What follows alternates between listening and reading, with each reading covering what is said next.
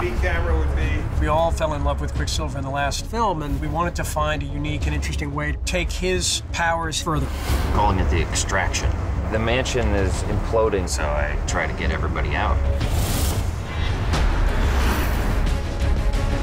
We use some of the most sophisticated filming technology in creating this very, very elaborate sequence. We use the Phantom for the slow motion. The Phantom camera runs 3,000 frames per second, so it can freeze real time.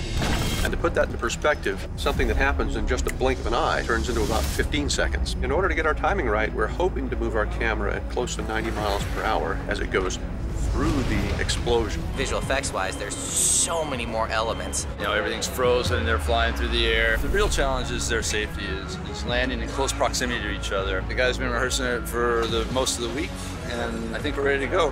Here we go. Three, two, one, go.